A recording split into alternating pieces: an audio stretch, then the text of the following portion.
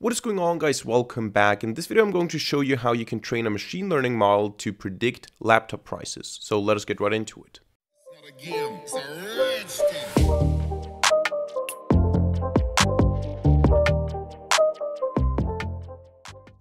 Alright, so in this video today we're going to use a Kaggle dataset called laptop price. You will find a link in the description down below where you can download this dataset. All you have to do is you have to log into Kaggle and click on this button up here. Uh, then you're going to download the archive.zip file and inside of that archive.zip file you will find this laptop underscore price.csv file which is the actual dataset. Now we're going to look close into the dataset here in a second but let's just get a quick overview here. So here you can see the features that are part of this dataset and down here you can see a little preview. You can see that we have an ID identifying the individual laptops. We have information about the company, the model, RAM, GPU, CPU, all that stuff. And then of course we have our target variable, which is the price of the actual laptop, the thing that we want to predict with our machine learning models. And one thing that is interesting about this data set is it contains a lot of information, but a lot of the information needs to first be pre-processed uh, or extracted. So for example, you can see here we have company name, we have product name or model name, you could say. Uh, we have the type. All of these are features that we cannot just use and feed into a model, into a random forest regressor, into a neural network. We have to do something with them. We have to encode them in some way before we can use them. But this is not only true for categorical features or brand names, this is also true for uh, actually numerical features. So for example, we have here the screen resolution but it's part of a string. So we don't just have the width and the height, we have a string that uh, tells us about the type of display um, and about the resolution of the display. And we also see here that for the CPU, we have the information mixed together. So we have the brand, we have the model name, we have the frequency as uh, which are actually three separate features as one feature, as one string feature. Uh, same goes for the RAM here. We have um, a string with the gigabytes. We have here uh, for the hard disk, what type it is, and the memory in uh, one feature mixed together. So we will need to do some pre-processing of this data set before we can properly train a machine learning model on it. And this is why I chose it for the video today because uh, I'm going to show you here the process of pre-processing a data set and then using it for machine learning. And the model that we're going to end up with uh, will actually be kind of accurate. Now, it's not going to give you the exact price. It's not going to always give reasonable responses, but it will be better than just guessing uh, without having information. So we're going to go through that here. I have the code already prepared, which is why I'm going to occasionally look at my second screen here. But what I'm going to do now is in the same directory where I have the dataset, I'm going to start a new Jupyter notebook, a new IPython notebook, uh, and I'm going to start by importing pandas. Now, for this video, you should have the basic Python data science stack installed. You should have pandas, numpy, matplotlib, seaborn, scikit-learn, uh, all the basic uh, machine learning, data science libraries, and this video is also not for complete beginners. Now you can still watch this as a complete beginner to just see what happens here, but if you don't understand basic stuff like uh, scaling, if you don't understand what a random forest regressor is, or how to train a model, what a train test split is, this is not the starting video for you. This is more an application of machine learning knowledge that has already been covered on this channel. So you can still watch this as a beginner, but this is more an intermediate tutorial. So what we're going to do here, if we don't have these libraries installed, is we're going to open up the command line. We're going to type pip install, and here you type now numpy, pandas, matplotlib, seaborn, and scikit-learn. I think that's all. I'm not sure if we're going to use any other libraries. Otherwise, we have to install them as well. Uh, run that command, then you're going to install all these dependencies, and then you can start with the coding. So we're going to import pandas as PD. Let me just zoom in a little bit here. Uh, we're going to import pandas as PD and we're going to just load now this CSV file into our notebook. So we're going to say here that the data is going to be, or let's call this df for data frame. The df is going to be PD read CSV laptop underscore price CSV. And then we can just, uh, of course, there is a an error, so we need to probably provide uh, an encoding. Encoding equals, what's the problem here? UTF-8 cannot encode it or decode it, so let's say Latin 1. Does this work? Seems to work. There you go. So this is now our data set. Um, I think it's printing all the columns. Is it? 1, 2, 3, 4, 5, 6, 7, 8, 9, 10, 11, 12, 13. Yes. Um, so we have all the columns and we have here uh, the various different features. Now, looking at this, you can already see we can only use two features right out of the uh, right out of the box, which is the inches, because this is just a float, uh, and the target variable, which is just also a float, the actual price of the laptop. All the other features cannot be used as they are right now. We need to pre-process them. But before we do that, some of the features we're going to entirely drop because it just doesn't make sense to in any way encode them. At least for this video, I don't want to do it. Um, and one such example would be the product name. So encoding the company might make sense because Apple computers might be more expensive than some other brands like Acer, for example. Um, but going into every single product, I don't feel like that's reasonable, especially if we look here at df product dot value counts. We're going to see probably, this is just an assumption, uh, yeah, we have quite a lot of them. So we have 618 different product names, which means that if we were to one hot encode this uh, as a categorical feature, this would just produce problems because we would have 618 features. Uh, this would add a lot of noise and a lot of them only occur once. So it doesn't really make sense to use that feature for me. Uh, we are going to use a company though, because I think there are not too many companies. We have, um, I want to count them now, but we don't have too many companies. So we're going to use that here and we're going to drop unimportant features anyways later on. So we're going to look at the correlations and we're going to drop unimportant features uh, anyways, but this is what we're going to, um, this is what we're going to include. We're going to drop the product name. Uh, we're going to use the type name because that should also not have too many different values. So type name has only a couple, only six different uh, values that it can have. So this is a perfect categorical feature.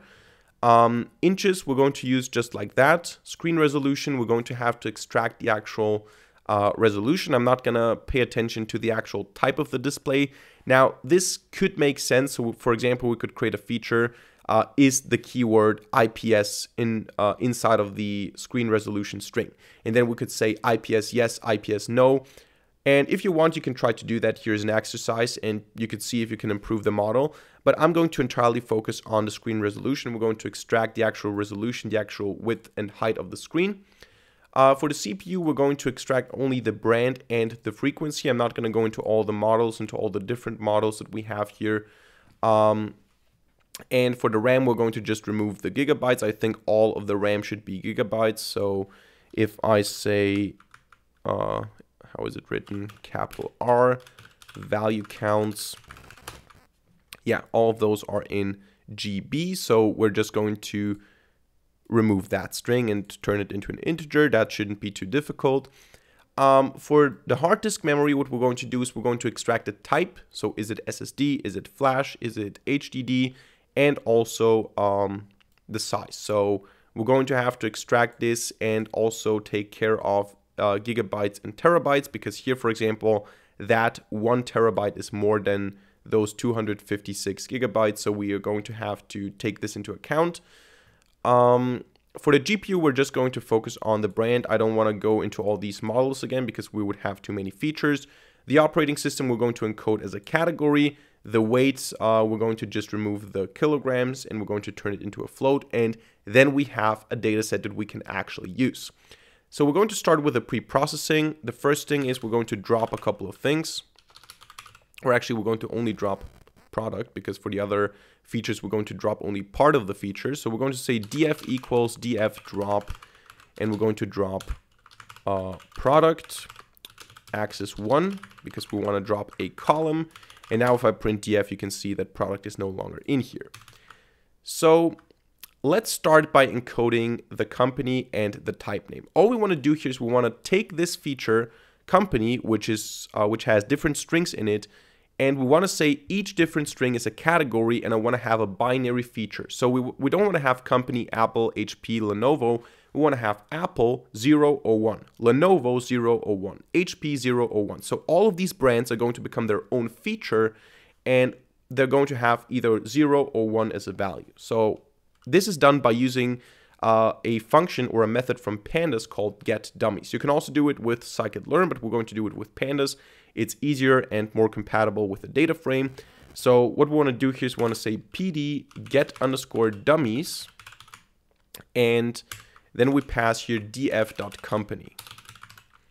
And this will result in that. Here we have now all these companies being either 0 or 1. So for each row, we only have one column being, uh, being 1, all the other ones being 0. So if it's an Apple computer, we're going to have a 1 here and zeros here. This is just a format that can be processed by, um, by the machine learning models easily. Now, you might be asking now, why don't we use ordinal encoding? Why don't we just say Apple is 1, Acer is 2, uh, or in this case, Acer is 0, Apple is 1, Asus is 1, uh, Asus is 2, sorry. Why don't we just say that those are on a scale? Why don't we just enumerate them? And the reason you don't want to do this with this kind, uh, kind of data here is because these values are not on a scale. If we have these values from 0 to, uh, I don't know how many they are, but let's say uh, 12 or something, I don't know how many they are, but um, 19. There it says 19 columns. If we have them numerated, enumerated from 0 to 18 in this case, um, the model could assume that they lie on a scale. So you could say that if the company is uh, Asus, it's closer to Acer than to this one. Or if it's Google, it's closer to Apple than it is to uh, Toshiba, for example. Which is not the case because those brands are not enumerated based on proximity. They're just categories. They're independent. Uh, so those two here are not closer together than those two. Now, looking at the letters, there might be, but when it comes to the concept of what is behind that company, this is not true. So we one hot encode them as binary features. Now, in order to take this and add this to the data frame, what we want to do is we just want to say df.join, and we want to set this to df. And then we also want to say df equals df drop, and we want to drop the company feature axis 1. And then you have the following data frame. First of all, you don't have the company anymore, and then you have a bunch of columns. Not all of them are displayed here in the end uh, with the respective brands. So we're going to do the same thing now for uh, for the type name. So we're going to say here, get the type name, join it to the data frame and drop the type name. And then we're going to have this feature again, not in, uh, not here anymore. And in the end, you can see we have um, we have two-in-one convertible gaming, netbook, notebook, ultrabook, workstation. Uh, also, again, binary encoded. So we have those two features. Now, for the inches, we're going to keep them like that. They're just numerical values. Now, for the screen resolution, we want to actually split on um, on spaces because what we want to have is we want to have this this string here. And when you look at these strings, you can notice one thing, uh, and this is that the resolution is always the last thing in the string. So this is always at the end of the string. So it's very easy to extract a resolution because it's not somewhere. We don't have to use regular expressions uh, to find something that has number x number. We can just take uh, the last word when we split on uh, spaces. So if I go ahead and say df dot screen resolution um, dot string dot split on white space, you can see that we always have this resolution as the last um, as the last entity here. And if I just go ahead and say negative one as an index here, uh, or probably I should say apply lambda x x negative one like this, you can see that we get the screen resolution. So that is going to be our screen resolution feature, but we're going to turn that here actually into uh, into screen width and screen height. So we're going to say screen width is going to be equal to df screen resolution. So here we just replace the feature and now we're going to create a new feature. So we're going to say uh, take the string and split it on the x. And when you split it on the x, uh, what I want you to do is I want you to take the first number here for the width and the second one for the height.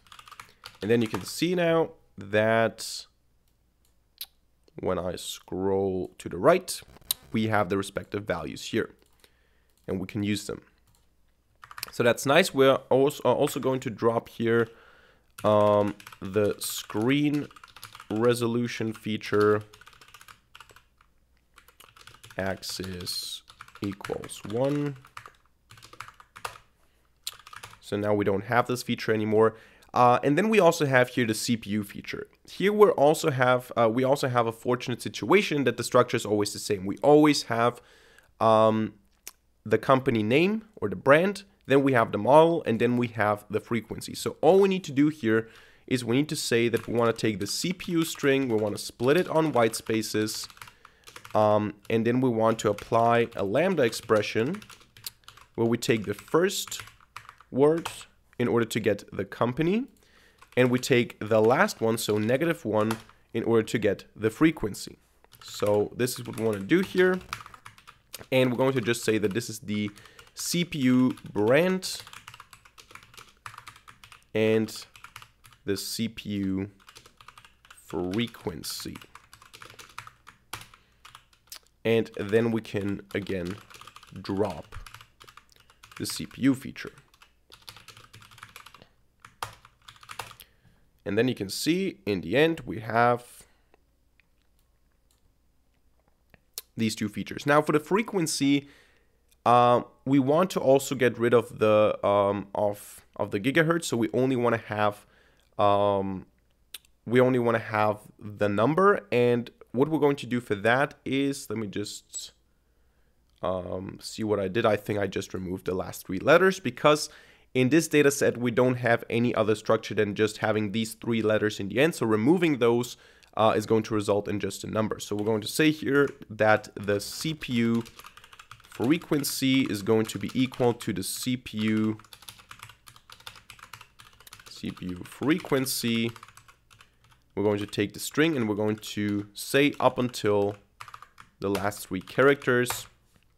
And this is going to leave us with just the number without uh, the unit. Um, yeah, that's that. Uh, what else do we want to do here? Let me just see.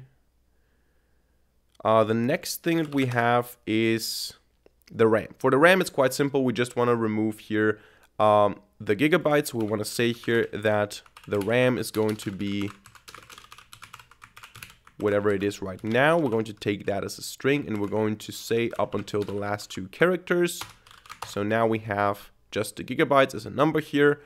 Um, probably makes also sense. I'm not sure if this is done by default. If I say now df histogram, uh, I don't think that it will plot the RAM because it doesn't recognize it as a numerical feature. And this is also true, I think, for the CPU frequency.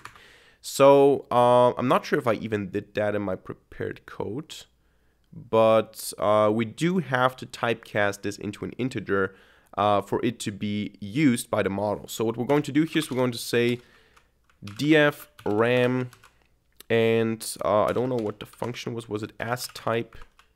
I think it was as type int. Does it work like that? Yeah, it works like that.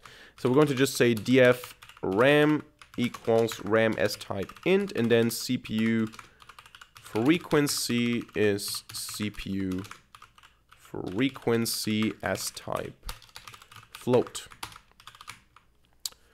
This does not work because I mistyped frequency. And now let's see if that worked. At least we have the same values and now they should be integers and floats. Um, and probably want to do the same thing for the screen height and for the screen width. So let's just uh, copy this here. Screen width. Screen width. And then screen height. And screen height. There you go. So now if I plot a histogram, I think we should get all these features here as well. There you go. Um, because the histogram function only takes uh, positive uh, not positive, uh, only numerical values or features. So for the memory, we're going to split again on the space. We're going to take uh, the first part um, of this string for, for the actual capacity, and we're going to take the second part uh, or the rest of the string, because sometimes it's two words uh, or more words, um, we're going to take that as the actual type. So we're going to say df memory amount is going to be equal. Uh, and what we want to do here actually, maybe let's just do it like that. Yeah, let's say first memory string split on white space and take the first one by applying a lambda expression again. So that will be the memory amount. And then we have the memory uh, type, which is going to be the rest of the string. So actually one until the end uh, makes sense, I think, because we're otherwise going to just get flash, for example. I mean, flash is actually fine. Why not just go with flash? Let's just go with one because we don't need storage. So before we produce any problems, let's just see memory type value counts. Yeah, this works. All right, now for the memory amount, we're going to write a simple function to uh, take the string and turn it into a number, which is going to be uh, depending on gigabytes or terabytes. So we can actually go ahead and say df memory amount value counts so that we can see we have basically always just gigabyte or terabyte. We don't have anything else. So what we want to do is we want to define a function, turn the memory into uh, megabytes. So we want to have one unit. Um, and we're going to just pass the value here. And we're going to say if the string gigabyte is in value, then we're going to return float the value up until the point where we find this gigabyte string. So basically just take the number, um, turn it into a float and multiply it by 1000. And elif if terabyte is in value, we want to take the same thing, but this time for terabyte, and we want to multiply it by three more zeros. That's basically it. That's the function. We're going to apply this function now to memory amount with a lambda, actually not with a lambda expression, we can just pass the function here that turns all of this into megabytes and we can just store this back into memory amount. And then we can also drop the memory feature so drop memory axis 1 uh, now we should not do this again. So let's just go down here do that. Um, and now we don't have too much left. We have only the GPU, we have the operating system, and we have the weight. For the weight, uh, for the weight, it's quite simple. We're just going to say weight equals weight, uh, or actually let me just see here briefly the value counts if we have any structure that could be problematic. No, it's always kilograms, so we're going to just say that this is weight string uh, not even split, just up until the last two characters. Uh, and probably we should then say also weight equals weight as type float. Let's see if that worked. Seems to work. Uh, and then we have these two features here. We're just going to ex uh, extract the GPU name or the GPU brand. So we're going to say df GPU brand is going to be uh, whatever we get here from GPU. We're going to split this thing on white space. We're going to apply a lambda expression where we get the value x and we take just the first split, uh, which is going to be the brand name. So of course, we need to say string split. And then we have at the end of this data frame, Intel, Intel, AMD, and probably also NVIDIA.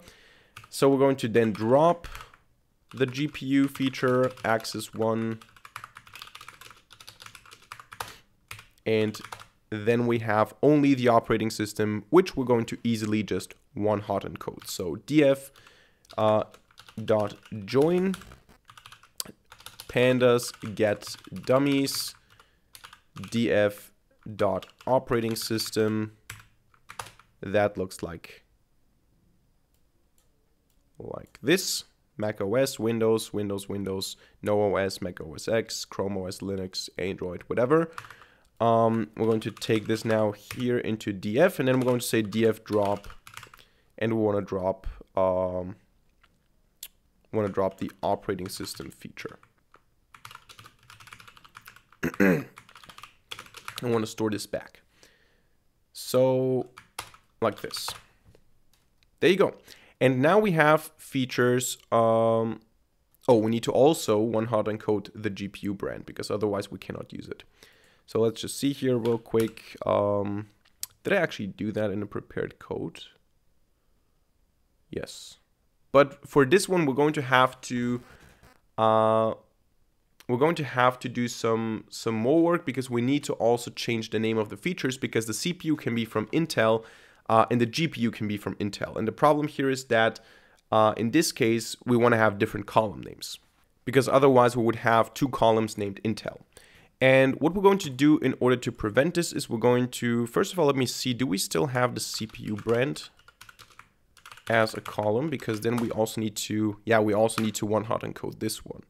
Uh, so we're going to have the CPU brand and the GPU brand um, encoded, but those can overlap because of Intel and AMD. They produce processors and uh, also uh, GPUs. So what we're going to do here is we're going to say uh, CPU underscore categories uh, is going to be PD get dummies um, df CPU brand.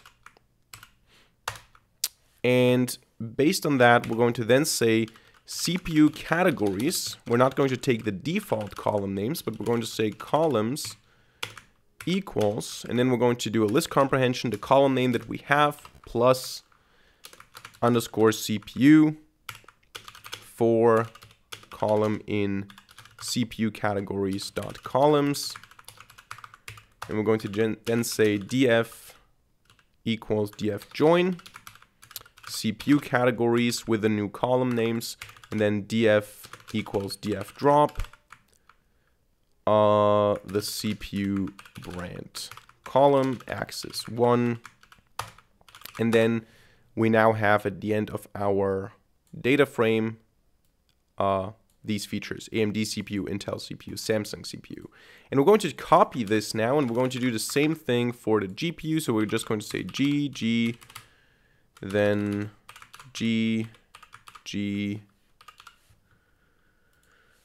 G, G, and I think that's the last one, G. So we now have GPU categories, GPU brand, GPU categories plus GPU, GPU categories. There you go. And then we also have now NVIDIA GPU, Intel GPU, ARM GPU, AMD GPU, uh, and the CPUs here still. So I think that should be it. Let me just see what the columns are that we have right now. We have um, the brands, we have the types, we have the frequency, the amount of memory, we have the operating systems, we have CPUs and GPUs. I think that's it. And now what we can do is we can take these features and we can um, plot a correlation matrix. So you can just take the data frame and uh, call the core function for correlation. And you can see here how the individual features correlate. Now, we don't really care about how the RAM correlates with um, the brand Apple necessarily. What we want to know is how do these features correlate with the price in euros. So this is what we want to predict. So we need a high correlation with this uh, feature here. And this is not necessarily a good overview, but what we can see here already is that the NVIDIA GPU, so if the system has an NVIDIA GPU, seems to be highly correlated uh, with a higher price. Makes sense, I guess. Um, but we can also visualize that here in a heat map by saying import seaborn s SNS and then import matplotlib.pyplot splt and then saying uh, SNS heat map this correlation matrix annotation equals true and then color map equals yellow, green, blue. And then maybe before that, want to say PLT figure. Figure size is going to be equal to 1815. Um, and I think this is not going to give us a good overview. There are just too many features, so we're not really going to see a lot. Um, there you go. But uh, if we reduce those features down to features with a decent correlation when looking at the, where is it, price euros um, feature here, we could get a better overview. So let's go ahead and say that we want to have um, the correlations only with the price. So we can say here, target correlations are equal to the correlation matrix, but only the column for the price euros. We want to apply here the absolute function. Why do we want to apply this function? Because it doesn't really matter if the correlation is um, negative or positive. It just should be a strong correlation because if a feature has a correlation of negative, uh, 0.9, that is a very relevant feature, even though it's inversely relevant. So it's um, if this feature is high, the price is going to be low, and if the uh, the feature is low, the price is going to be high. But it is a very relevant feature. So we want to sort here uh, by relevance, but we don't care if if the feature is um, if the correlation with that feature is positive or negative. We just want it to be high uh, or strong.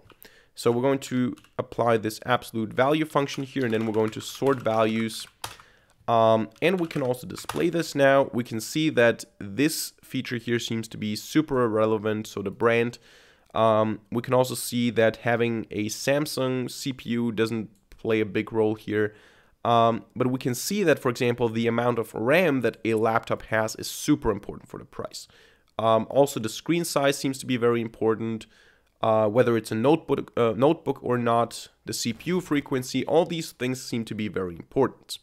So what we're going to do now is we're going to just select the top 20 features. So we're going to say selected features equal target correlations negative 20 uh, until the end dot index. So we just want to have the feature names. We don't want to have the correlation values.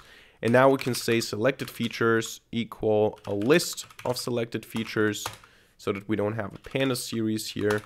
Uh, and then we can see those are the feature names. Now, of course, the price itself uh, will also be part of it. So maybe we should go with 21 to get the top 20. Um, and then we can see those are the features that are actually the most important features. Um, and we stop here, which is at 0.15, which is also a good threshold. So we could also say that we only include features that have a correlation of 0.15 or higher uh, being negative or positive 0, 1.5. and with these features, now we can define a limited data frame which only takes deselected columns. So this is then the data frame that we're going to use here or that we can use here. Um, and uh, what we want to do now is we want to plot the correlation heat map again. So we're going to say SNS heat map limited data frame correlation annotation being equal to true, the color map being yellow, green, blue, and before that, I want to say PLT figure. Figure size is going to be equal to 1815. And then we get this nice correlation heat map here um, with the price euros at the end. And we can see that here RAM has a very high Positive correlation notebook has a very uh, uh, a very uh, low, a very high negative correlation. Sorry, uh, meaning that if it's a notebook, it tends to be cheaper. Uh, and then we have some other interesting values here as well. So the more dark blue the value is, the stronger it's positively correlated with uh, the price. The more light yellow it gets, the more it's negatively correlated with the price, and the more it goes into some turquoise, greenish, bluish cyan stuff, it's uh, less relevant. So that's the basic idea of this heat map here. Now let's just take this data frame and train a simple model on it. And we're going to start with a random forest regressor, or my best guess is that the random forest regressor will perform the best uh, because of the structure of the dataset and of the problem. Because the random forest uh, regressor works with decision trees, and decision trees are um, something that is very intuitive in this particular task because we have this question, is it a Windows 7 um, system or not? Is it a Linux operating system or not? Does it have an AMD CPU or not?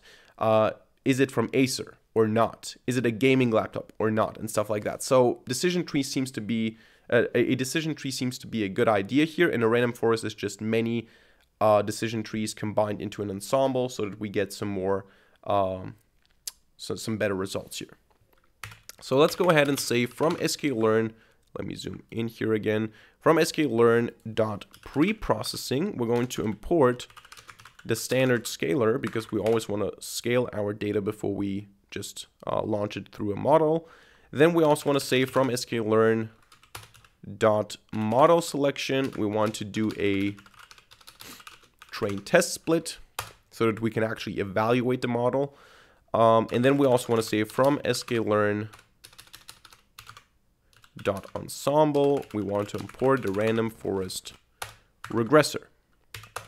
So here we're going to say scaler equals standard scaler.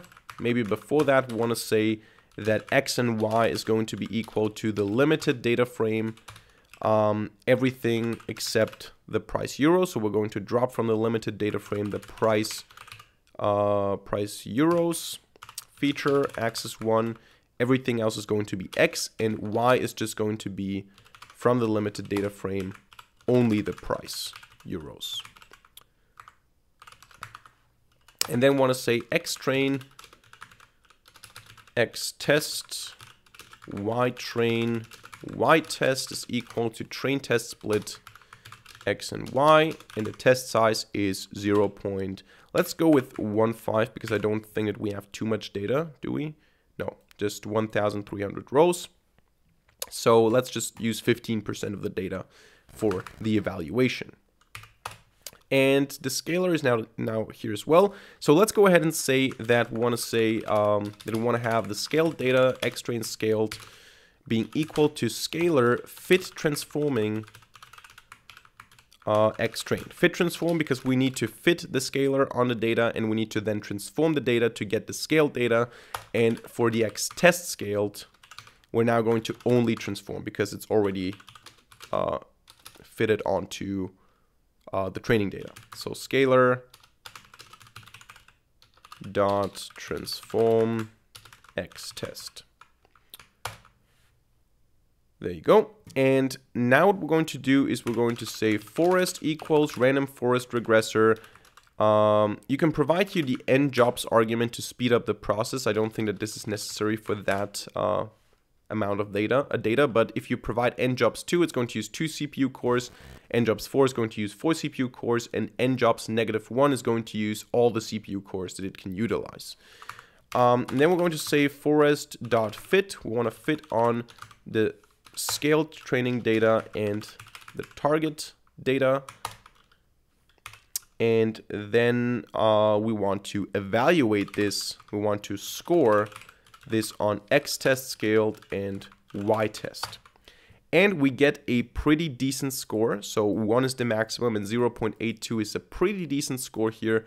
Um, and this is basically the evaluation of the model. So this model has uh, a pretty good accuracy and we can actually also visualize that so we can actually plot this to see what the results look like by saying that we want to have the prediction values by saying forest.predict on the test data and then we want to plot the predictions against the actual results so we want to say plt figure let's say the figure size is going to be 12 8 then we want to say PLT scatter. We want to scatter on the x-axis, we want to have our predictions.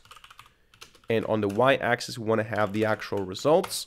And then we also want to say uh, plot a line from, let me first just scatter the points here. Uh, plot a line from 0 to, I don't know, 5,000. And here maybe to 7,000. So let's say PLT plot range 0, 5000, range 0, 6000, color being red.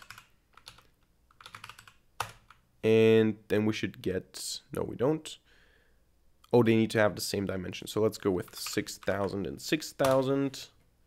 There you go. So you can see actually uh, the basic interpretation of this plot is that the closer these values are together, so the more accurate our model is, the more these values will be in a line. So if our model would predict the exact correct value every time, we would get all these points on the line. And if it's close to that, the points are going to be more close to the line. They're going to be closer to the line, whereas if the model produces complete garbage, it's going to be just noise. We're not going to see a linear pattern. So even though it's not exactly on the line, which is always hard for the regression task, um, we can still see that the points are pretty much close to the line. Maybe this one not so much, this seems to be an outlier, but all in all, it seems to be a pretty decent result here.